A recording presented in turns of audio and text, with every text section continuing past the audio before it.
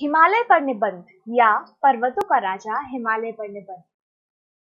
मेरे नगपति, मेरे विशाल, साकार दिव्य गौरव विराट, पौरुष के पुंजीभूत ज्वाल, मेरी जननी के हिम किरीट, मेरे भारत के दिव्य भाल, मेरे नगपति, मेरे विशाल। उपर्युक्त पंक्तियों में राष्ट्र कवि दिनकर जी ने हिमालय की वंदना की है। हिमालय भारत का गौरव है। भारत प्रकृति नदी की क्रीड़ा स्थली है और पर्वत राज देवात्मा हिमालय प्रकृति की उसी उज्जवलता का सारा रूप है। हिमालय भारत का गौरव और पौरुष का पूंजीभूत रूप है। देवभूमि है, इतिहास का विधाता है। भारतीय संस्कृति का मेरुदंड है तथा भारत की पुण्य भावनाओं तथा श्रद्धा का प्रतीक है। हिमालय पर्वत भारत भूभाग के मस्तक पर मुकुट की भांति सुशोभित है। कवियों ने इसे एक मौन तपस्वी और उच्चता का प्रतीक उन्नत शिखर कहकर संबोधित किया है। पूर्व और पश्चिम के समुद्रों का अवगाहन करते हुए पृथ्वी के मानदंड के समान पर्वतराज देवात्मा हिमालय उत्तर दिशा में स्थित है। हिमालय की लंबाई 5000 मील और चौड़ाई लगभग 500 मील है। उत्तर में कश्मीर से लेकर पश्चिम में असम तक अर्धचंद्र रेखा के समान इनकी पर्वतमालाएँ फैली है। हिमालय का सबसे ऊँचा शिखर गौरी शंकर है, जिसे एवरेस्ट भी कहा जाता है।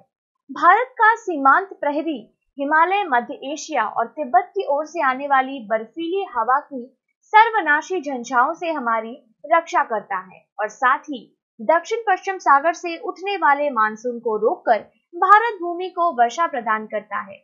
इससे निकलने वाली अनेक पुण्य नदियाँ भारत भूमि को शस्य श्यामला बनाए रखती है। हिमालय न होने की कल्पना भी भारतवासियों के लिए न होता तो संभवतः भारत भूमि का अस्तित्व ही नहीं होता।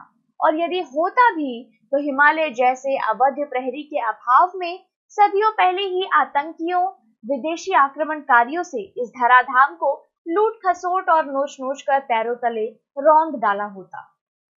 यदि हिमालय न होता तो हमारे खेतों को अपने अमृत जल से सींचकर हरा भरा रखने वाली नदियाँ भी नहीं रहती। उसके आसपास स्वतः ही उगाए पेड़ पौधे वन वनस्पतियाँ तक न हो पाती। तब न तो पर्यावरण की रक्षा ही संभव हो पाती और न ही प्रदूषण से ही बचा जा सकता है। हमें फल फूल तरह तरह की वनस्पतियाँ, औषधियाँ आदि कुछ भी तो नहीं मिल पाता। सभी कुछ वीरान और बंजर ही रहता। बहुत संभव है कि तब इस भूभाग पर जीवन के लक्षण ही दिख पड़ते। यदि हिमालय न होता तो गंगा यमुना जैसी हमारी धार्मिक, आध्यात्मिक आस्थाओं की प्रतीक, मोक्षदायिनी पतित पावन नदियाँ भी न होती। तब ना तो हमारी आस्थाओं के शिखर उठ बन पाते और ना पुराने ऐतिहासिक तरह तरह के मिथकों का जन्म ही संभव होता है। इतना ही नहीं देवादिदेव शिवजी तथा अन्य असंख्य देवी देवताओं की कहानियों का जन्म भी नहीं हुआ होता। यदि हिमालय ना होता तो गंगा यमुना जैसी नदियाँ भी नहीं होती। इनके अभाव में, इनके तटों पर बसने वाले तीर्थ धाम छोटे बड़े नगर, हमारी सभ्यता संस्कृति के प्रतीक, अनेक प्रकार के मंदिर, शिवालय तथा अन्य प्रकार के स्मारक भी कभी न बन पाते। इन पवित्र नदियों के तटों पर बस विकसित होने वाली भारतीय संस्कृति सभ्यता का तब जन्म तक भी न हुआ होता। यदि हिमालय न होता तो आज हमारे पास निरंतर तपस्या एवं अनवरत अध्यवसाय से प्राप्त ज्ञान विज्ञान का जो अमर अक्षय कोश है, वह भला कहाँ से आ पाता?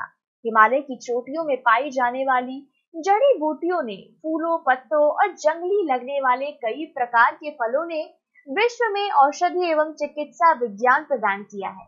हिमालय के अभाव में यह सब कुछ मानव को कतई नहीं मिल पाता। तब मानवता रुग्ण एवं अस्वस्थ होकर असमय में ही अपनी मौत पा जाती।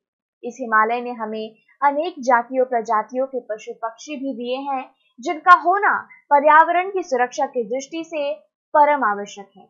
इतना ही नहीं, हिमालय ने मानवता को ज्ञान साधना की उच्चता और विराटता की, गहराई और सुदृढ़ स्थिरता की जो कल्पना दी है, ऊपर उठने की जो प्रेरणा और कल्पना प्रदान की है, वह कभी न मिल पाती।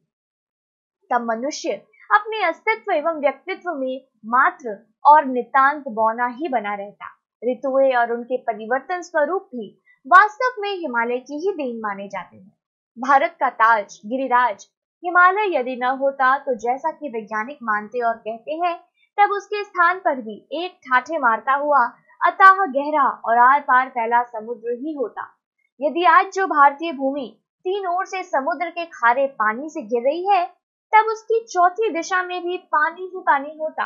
तब भारत देश एक विशाल समुद्री टापू बनकर रह जाएगा। वेदों में, उपनिषदों में, पुराणों में, महाकाव्यों में हिमालय का विस्तृत वर्णन है। हिमालय वास्तव में भारत के लिए वरदान है। साधु संतों की साधना स्थली है। अनेक दुर्लभ पशु पक्षियों की आश्रय स्थली है।